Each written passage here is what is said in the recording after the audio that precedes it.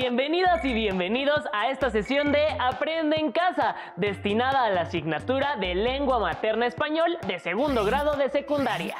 Esta es una producción de la Secretaría de Educación Pública para llevar hasta su hogar los contenidos de las asignaturas que cursan. Ahora que están trabajando desde su casa, sean positivos, tolerantes y pacientes. De este modo lograrán avanzar mejor en esta nueva propuesta de educación a distancia. Pidan a su familia que colabore con ustedes al realizar las actividades para promover el trabajo en equipo. Sean puntuales con sus horarios de clase y preparen sus útiles para que tomen nota de lo que consideren importante y para que realicen las actividades propuestas. Y al final, guarden sus notas y actividades en su carpeta de experiencias. En español, como en cualquier otro idioma, uno de los aspectos fundamentales es la escritura una actividad retadora, pero que si se realiza con cuidado, tiene el poder de inspirar a otras personas, de informar y, por qué no, de crear nuevos mundos. En esta sesión conocerán algunas recomendaciones para trabajar un texto y para usar la puntuación al revisarlo. El objetivo es que mejoren la claridad de sus escritos para que sus palabras sean cada vez más comprensibles y atractivas. Hay que practicar mucho si desean escribir con buena ortografía y puntuación. Deben revisar siempre lo que redacten, ya sea un resumen, un cuento o el guion de una exposición.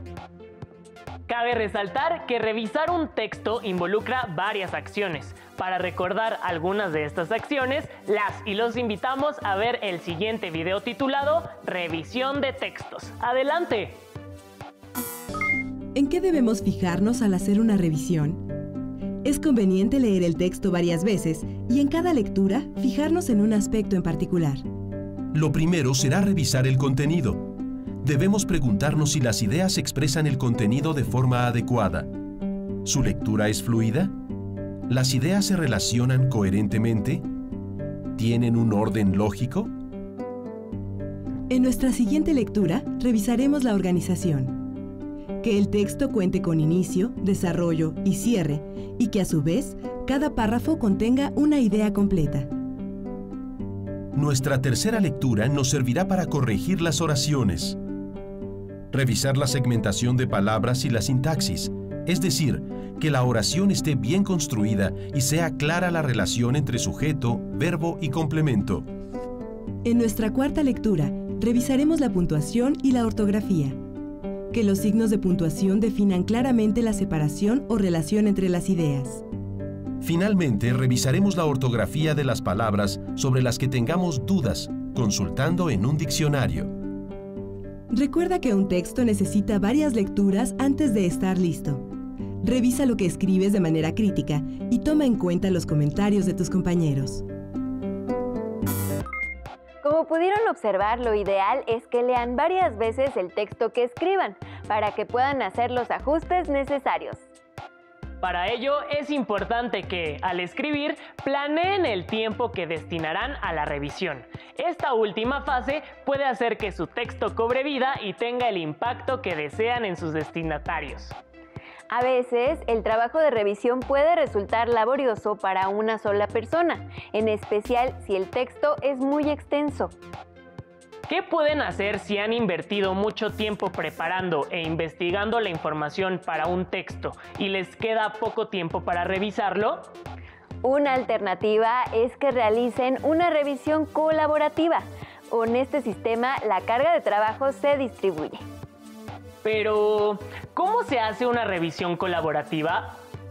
Para responder esta pregunta y que conozcan más al respecto, acompáñenos a ver el siguiente video titulado ¿Cómo corregir un texto con la colaboración de un compañero? Pongan mucha atención.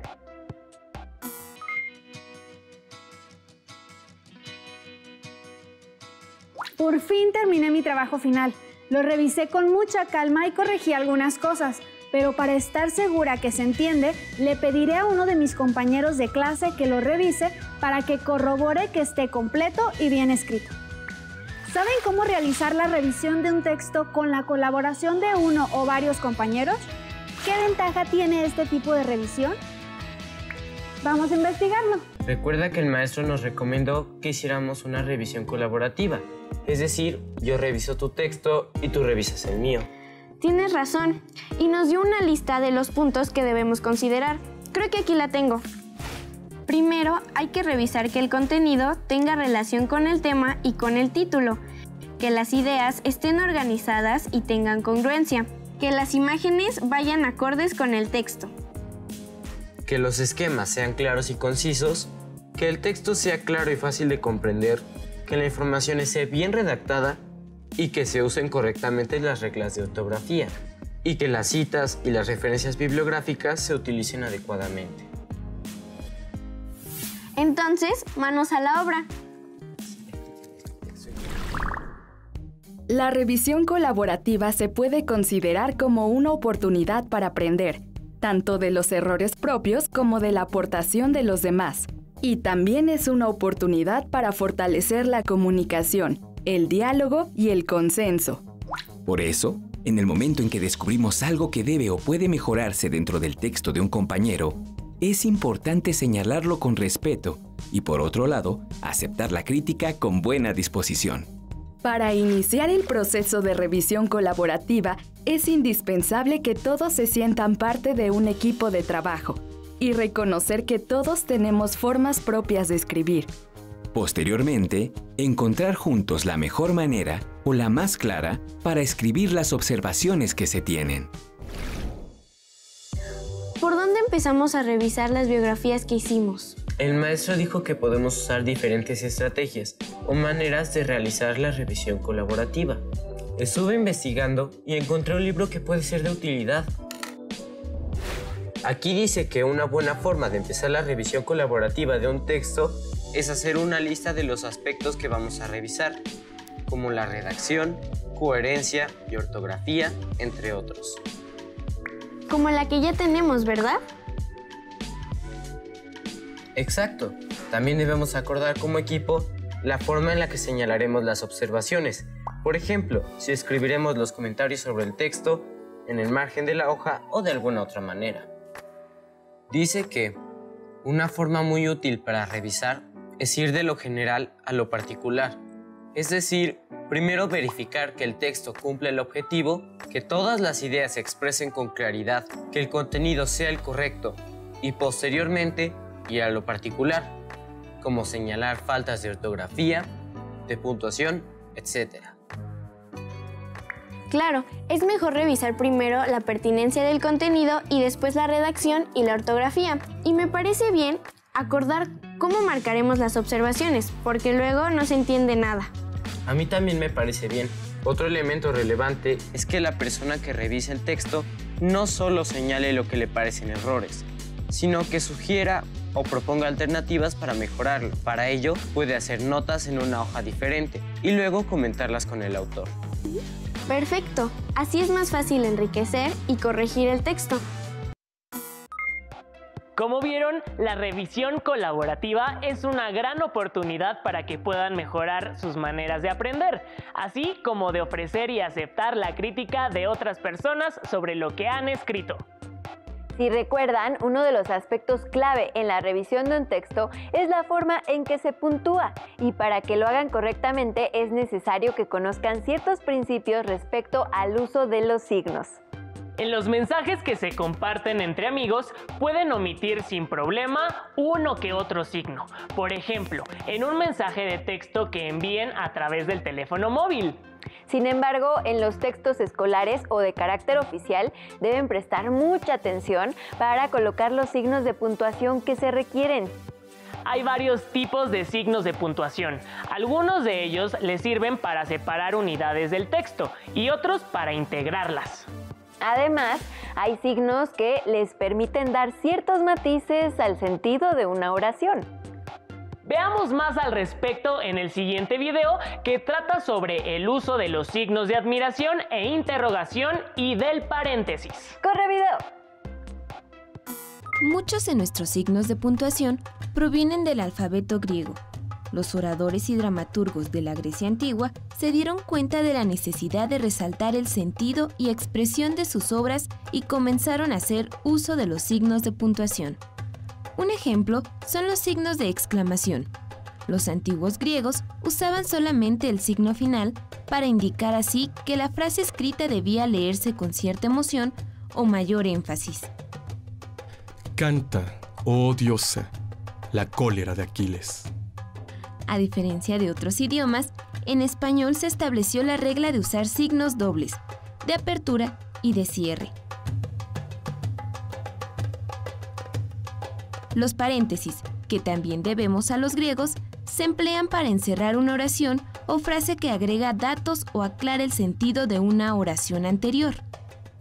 En textos teatrales, los paréntesis encierran las acotaciones, es decir, las instrucciones sobre los movimientos y actitudes de los personajes. Los signos de interrogación se los debemos a los romanos. En latín, pregunta se decía questio y su abreviatura Q o se escribía al lado de una interrogación directa.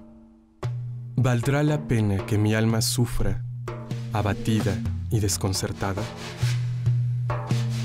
Con el tiempo se crearon los signos de interrogación para sustituir esta abreviatura. Como vieron, la historia de los signos de puntuación es muy antigua y algo distintivo en el español es el uso de los signos de aperturas en todas las preguntas y exclamaciones.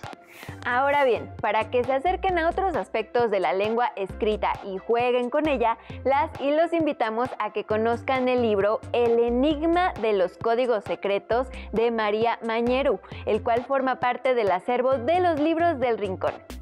Además, uno de los signos de puntuación más usuales es la coma. Para que recuerden algunas condiciones básicas sobre su uso, las y los invitamos a ver con atención el siguiente video.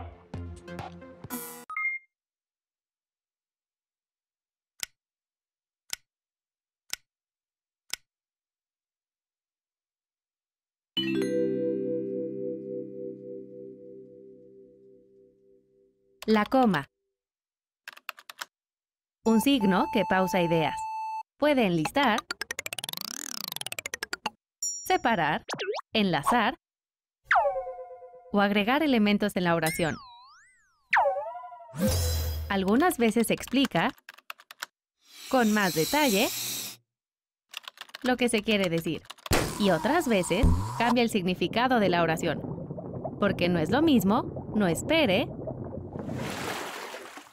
Ah, no, espere. Siempre irá de aquí para allá por el texto, separando palabras, frases o oraciones.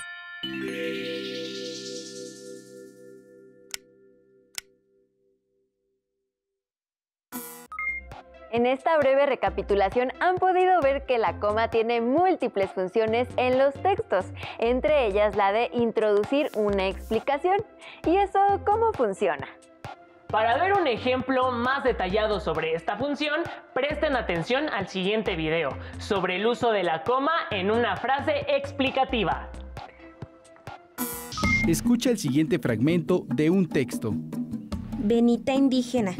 Náhuatl vende. Tortillas en el mercado de Cuautitlán. Vive en Gilotepec, Estado de México, con sus cinco hijos. Cada martes sale a las 4 de la mañana cuando los gallos cantan para abordar el autobús. Camina por la vereda, oscura hacia la terminal de autobuses y espera pacientemente para guardar su canasta llena de tortillas. ¿Comprendiste el texto? ¿Por qué piensas que es confuso? Escuchemos de nuevo la siguiente oración. Benita indígena, náhuatl vende, tortillas en el mercado de Cuautitlán. Como te pudiste dar cuenta, esta oración y todo el fragmento anterior son confusos debido a que las comas, que marcan las pausas al leer, se escribieron en lugares inadecuados. Observa cómo al colocar adecuadamente las comas, el texto se comprende mejor. Benita indígena, náhuatl vende, tortillas en el mercado de Cuautitlán. Benita, indígena náhuatl, vende tortillas en el mercado de Cuautitlán. Veamos otro ejemplo. Cada martes sale a las 4 de la mañana cuando los gallos cantan para abordar el autobús. En este caso la frase resulta absurda porque parecería que el canto de los gallos se produce para que aborden el autobús. Cada martes sale a las 4 de la mañana, cuando los gallos cantan, para abordar el autobús. Pero, al colocar las comas en el lugar adecuado, la frase resulta entendible y comunica un significado lógico. Benita, indígena náhuatl, vende tortillas en el mercado de Cuautitlán. Vive en Gilotepec, Estado de México, con sus cinco hijos. Cada martes sale a las 4 de la mañana, cuando los gallos cantan, para abordar el autobús. Camina por la vereda oscura hacia la terminal de autobuses y espera pacientemente para guardar su canasta llena de tortillas.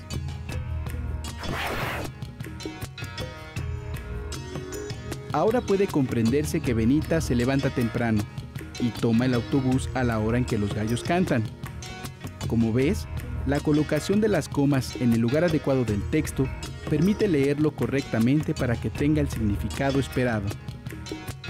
Ahora lee con atención las frases que van entre comas.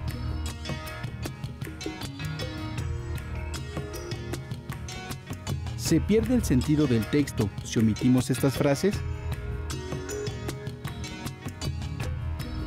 ¿Para qué piensas que se escribieron esas frases en el texto original? ¿Qué función tienen? La frase explicativa introduce información complementaria o aclaratoria a un texto. Esta información puede o no ser relevante para el significado general de la oración. También se les llama incidentales, porque se pueden incluir u omitir del texto sin que éste pierda su sentido. La coma se usa para introducir y cerrar una frase explicativa o incidental. Así se separa cualquier comentario, explicación o precisión respecto a algo mencionado anteriormente. Quien escribe utiliza las frases explicativas para presentar al lector información que quiere enfatizar, ya sea una idea o una situación.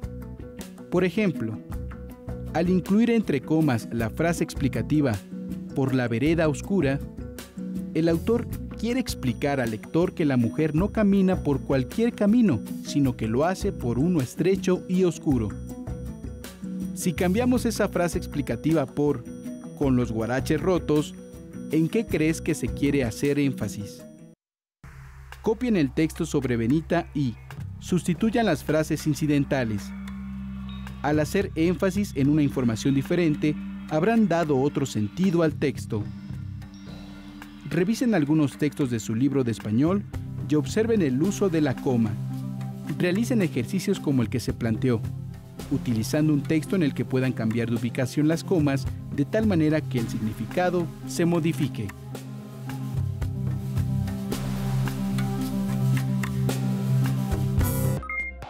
Como vieron, la coma explicativa les ayuda a dar información complementaria en el texto.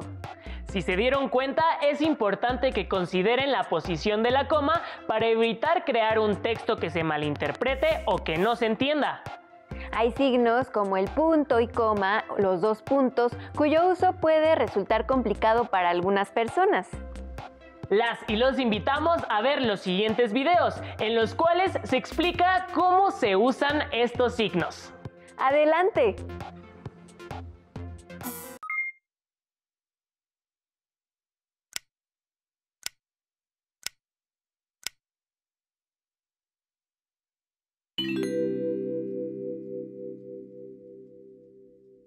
Punto y coma.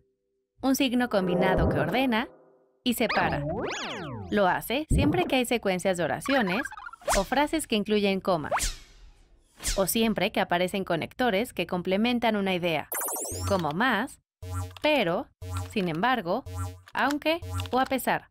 Y así, este signo es más que una coma, pero menos que un punto.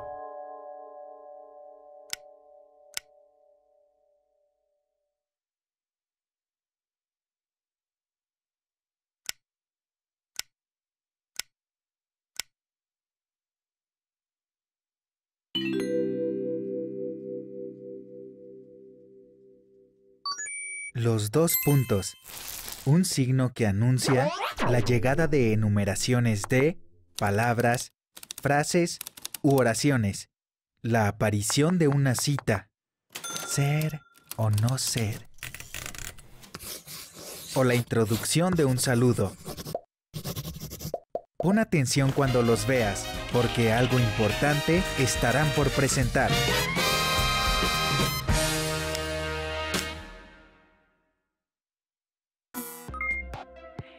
Esperamos que les esté quedando más claro cómo usar estos signos. El punto y coma se usa cuando ya hay comas o con ciertas palabras de enlace. Mientras que los dos puntos anuncian o presentan información. Cuando lean, reflexionen sobre el uso que tienen los signos de puntuación y tomen notas para que puedan mejorar su escritura. Ahora, con el fin de que profundicen su reflexión, las y los invitamos a responder las siguientes preguntas.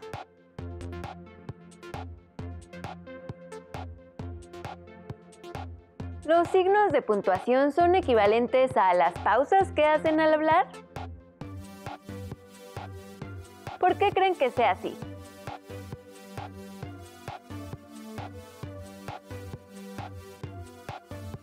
¿Creen que todos los matices que usan al hablar pueden representarse con signos de puntuación?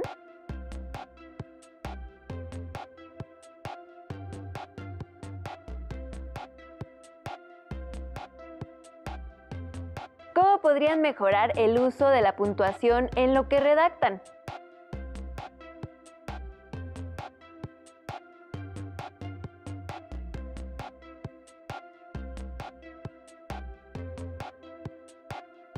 Después, piensen en una estrategia que les pueda ser útil para mejorar su puntuación. Escríbanla y pónganla en práctica. E integren su actividad a su carpeta de experiencias para que posteriormente la compartan con su docente. Con esto llegamos al final de esta sesión. Mientras nos volvemos a encontrarlas y los invitamos a seguir con la programación de Aprende en Casa. ¡Hasta, la próxima.